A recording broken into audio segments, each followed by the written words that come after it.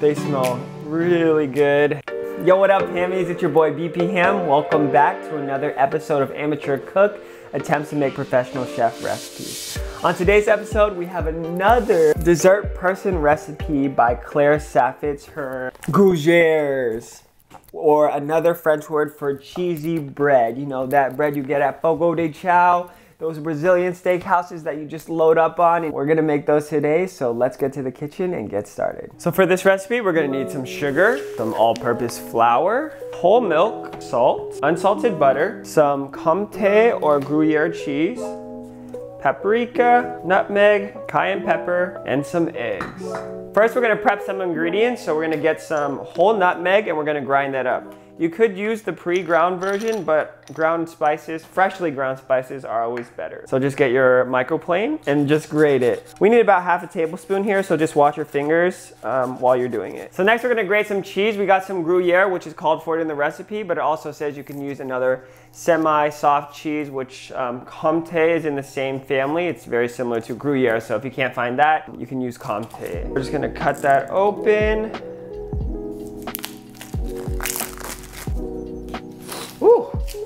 Very strong smelling cheese.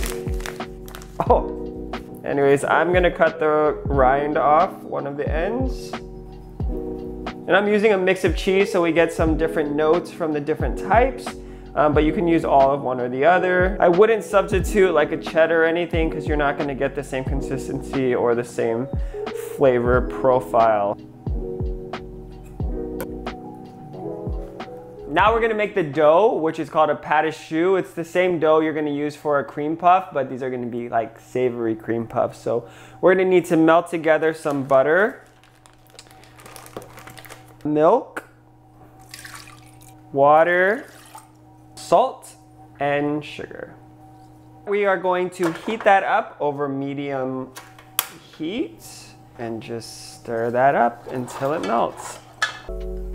So we're just gonna let this melt and then simmer um, over medium-low heat. And once this melts, we're gonna add in the flour. So you wanna keep stirring it so that um, it doesn't scorch at the bottom. So it's lightly simmering. We're gonna put in the flour and mix that in.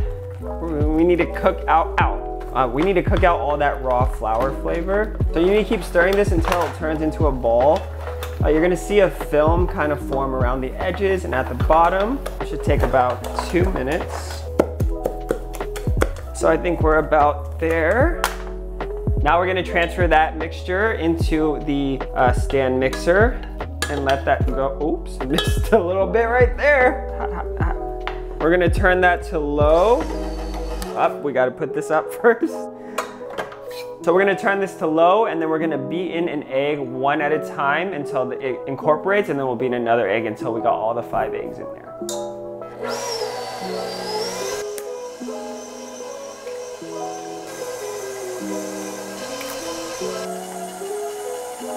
So when you add the eggs, it's gonna look like it's not incorporating, but just let it keep going and it'll eventually incorporate back into there.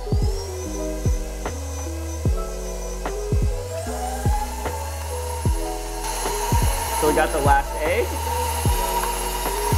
So once it's done incorporating, we're just gonna scrape down the sides and hopefully all of that mixture mixed thoroughly through.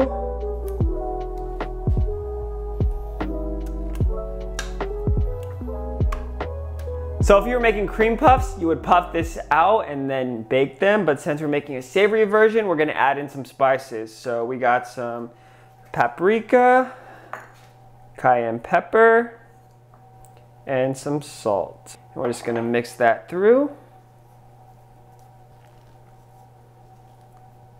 Once you get that thoroughly mixed in, we're gonna add in the cheese slowly. So just add in some. You could do this in the stand mixer, but I'm just gonna do it by hand. So this is only about 3 fourths of the cheese. We're gonna use the rest to sprinkle it on top. Make sure to break it up so it doesn't clump and that's why you grate it so that it easily mixes. So we got the last bit of the cheese, just gonna pour that in there and then mix it up.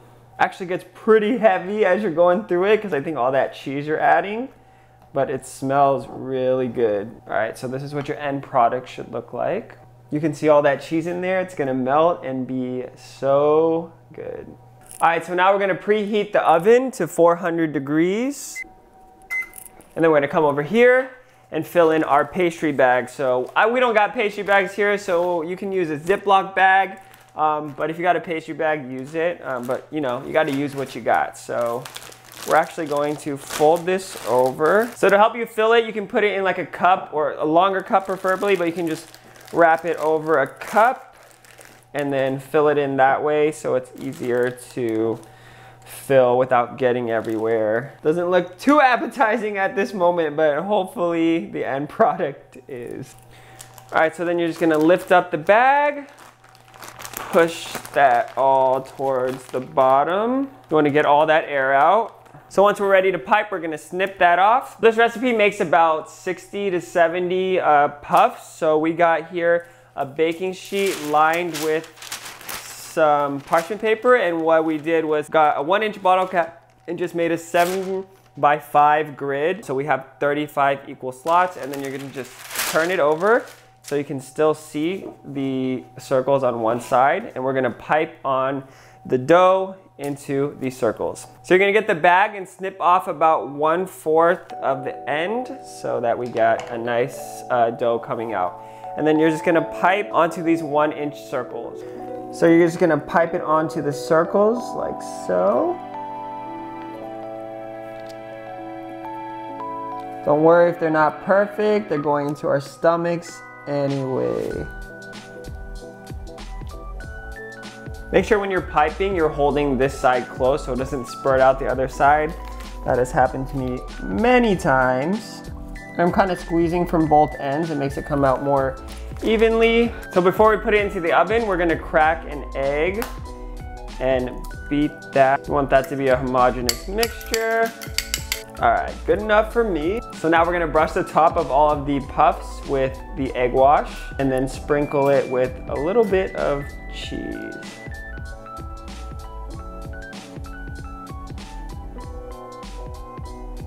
And while you're doing this, if some of them look a little strange, you can like form them up better.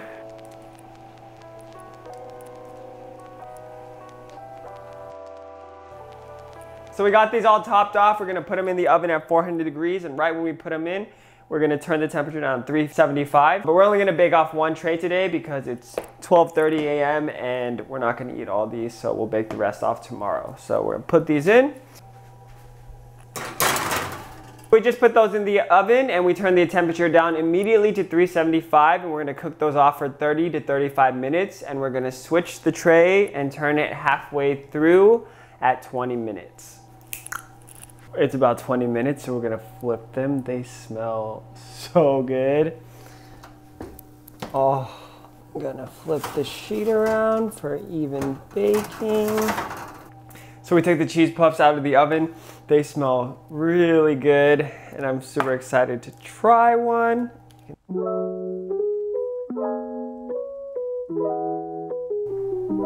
Finished baking the gougères and they look so good. Oh, they are puffed up and golden brown and super excited to try it out. So let's pop it in. Mmm. Mmm. If I just open one up, they're super airy on the inside. Nice and light, but crunchy, crispy. And that cheese, mmm. Mmm. They are really, really good. I could see myself popping these just in and just eating this whole thing. And pro tip, if you spill some of the cheese while sprinkling, they make these awesome Gruyere chips, super crunchy and delicious. That's it for today, guys. If you guys like this video and like me making these gougères, please subscribe, give this video a like, and comment below on what you would like me to cook or bake next. Until next time, peace.